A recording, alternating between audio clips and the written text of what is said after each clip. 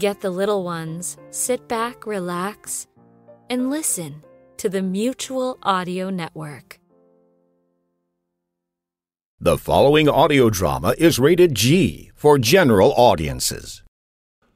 By the Almshouse Window by Hans Christian Andersen, 1847. Near the grass covered rampart which encircles Copenhagen lies a great red house. Balsams and other flowers greet us from the long rows of windows in the house, whose interior is sufficiently poverty stricken, and poor and old are the people who inhabit it. The building is the Wharton Almshouse. Look! At the window there leans an old maid. She plucks the withered leaf from the balsam and looks at the grass covered rampart on which many children are playing. What is the old maid thinking of? A whole life drama is unfolding itself before her inward gaze. The poor little children! How happy they are! How merrily they play and romp together! What red cheeks and what angels' eyes! But they have no shoes nor stockings. They dance on the green rampart, just on the place where, according to the old story, the ground always sank in, and where a sportive, frolicsome child had been hired by means of flowers, toys, and sweetmeats into an open grave ready dug for it, and which was afterwards closed over the child. And from that moment, the old story says, the ground gave way no longer. The mound remained firm and fast, and was quickly covered with the green turf. The little people who now play on that spot know nothing of the old tale, else would they fancy they heard a child crying deep below the earth and the dewdrops on each blade of grass would be to them tears of woe. Nor do they know anything of the Danish king, who here, in the face of the coming foe, took an oath before all his trembling courtiers that he would hold out with the citizens of his capital and die here in his nest. They knew nothing of the men who have fought here, or of the women who from here have drenched with boiling water the enemy, clad in white and biding in the snow to surprise the city. No! The poor little ones are playing with light, childish spirits. Play on! Play on, thou little maiden! Soon the years will come. Yes, those glorious years. The priestly hands have been laid on the candidates for confirmation. Hand in hand they walk on the green rampart. Thou hast a white frock on.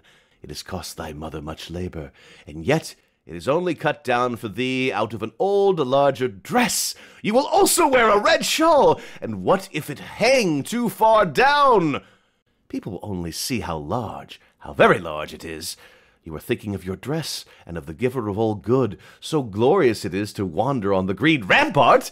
And the years roll by, they have no lack of dark days, but you have your cheerful young spirit, and you have gained a friend. You know not how. You met Oh, how often! You walk together on the rampart in the fresh spring, on the high days and holidays, when all the world come out to walk upon the ramparts, and all the bells of the church steeples seem to be singing a song of praise for the coming spring. Scarcely have the violets come forth, but there, on the rampart, just opposite the beautiful castle of Rosenberg, there is a tree, bright with the first green buds. Every year, this tree sends forth fresh green shoots Alas! It is not so with the human heart. Dark mists, more in number than those that cover the northern skies, cloud the human heart. Poor child, thy friend's bridal chamber is a black coffin, and thou becomest an old maid. From the almshouse window, behind the balsams, thou shalt look on the merry children at play, and shall see thine own history renewed. And that is the life drama that passes before the old maid, while she looks out upon the rampart, the green, sunny rampart, where the children, with their red cheeks and bare shoeless feet, are rejoicing merrily, like the other free little birds.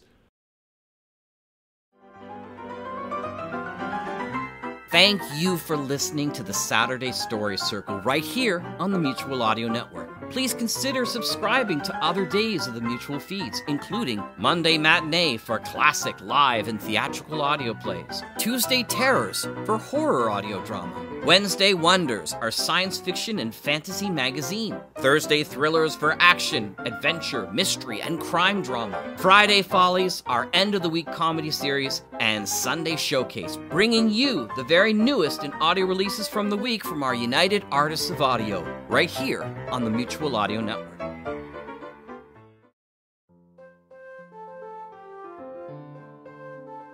The Mutual Audio Network. Listening and imagining together.